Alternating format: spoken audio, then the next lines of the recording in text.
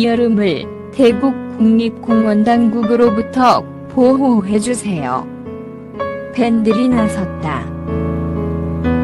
SBS 예능 프로그램 정글의 법칙 in 로스트 아일랜드 이하 정글의 법칙이 태국 대왕조개 채취 논란에 휩싸인 가운데 설상가상으로 태국 국립공원 측이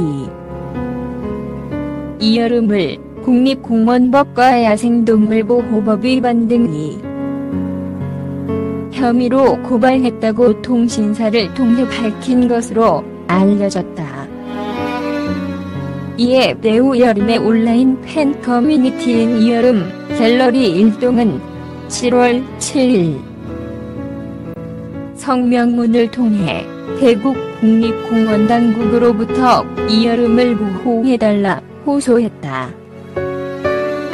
지난 6월 29일 방송된 SBS 예능 프로그램 정글의 법칙 에서는 대국 남부 트랑 지방의 꼬묵섬에서 생존하는 모습이 그려졌다. 해당 방송에서 이여름이 수중에서 대왕족의 세계를 발견해 채취했고 예고 영상에서는 출연자들이 대왕조개를 시식하는 모습이 담겼다.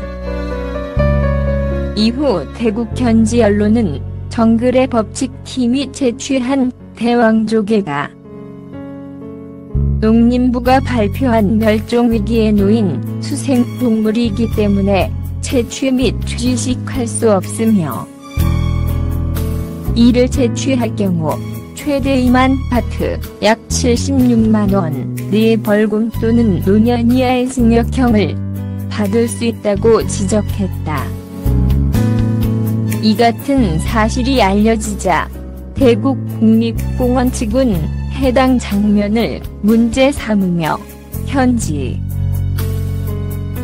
경찰에 관련 수사를 요청했고 이후 끝까지 책임을 묻겠다는 강경한 입장을 표명했다.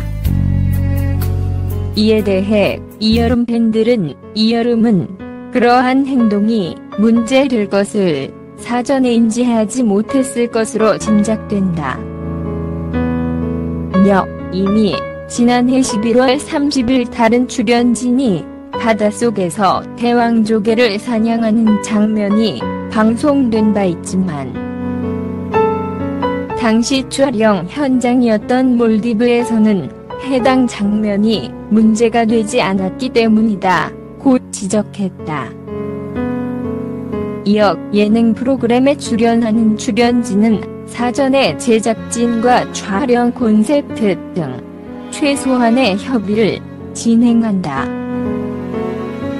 당연히 이여름도 촬영 현장에서 준수해야 할 여러 수칙들을 제작진 측으로부터 전해 듣고 촬영에 임했을 것이다. 며 그렇기 때문에 해당 사건의 스포트라이트가 이여름에게 집중되는 것은 너무나도 안타깝고 부당하다는 생각이다. 고 주장했다.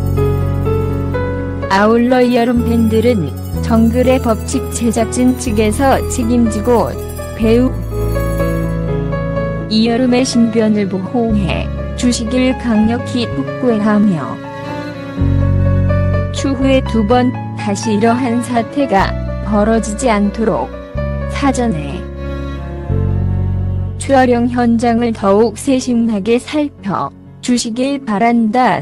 고 당부했다. 한편 정글의 법칙 제작진은 지난 7월 5일 뒤늦게 현지 규정을 사전에 충분히 숙지하지 못하고 촬영한 점에 깊이 사과드린다. 향후 좀 더 세심한 주의를 기울여 제작하겠다. 고 공식 사과한 뒤 프로그램 공식 홈페이지에 올라온 관련 영상을 삭제했다. 이여름 소속사 측은 7월 7일 현재까지 대구 국립공원 측으로부터